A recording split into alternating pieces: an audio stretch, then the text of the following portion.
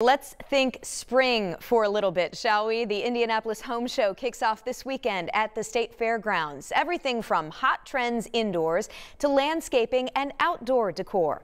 Our Anna Chalker shares how you can make some smart investments for your home at the show.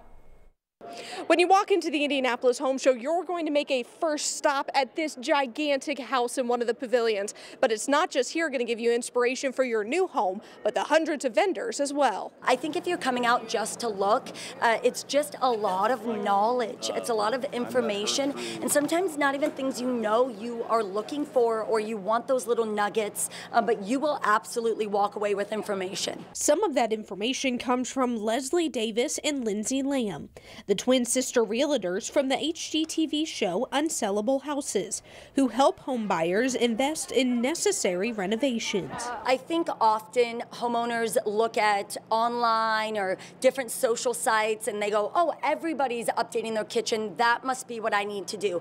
But you need to step back and. So while they're visiting in Indy, they are helping homebuyers here understand how to make the most out of their investments. There may be small improvements you can make that make huge huge differences on that sales price. And really, that's what we look for. While there are so many unique vendors at the home show, both sisters say you shouldn't go all in and really think about what will benefit your home.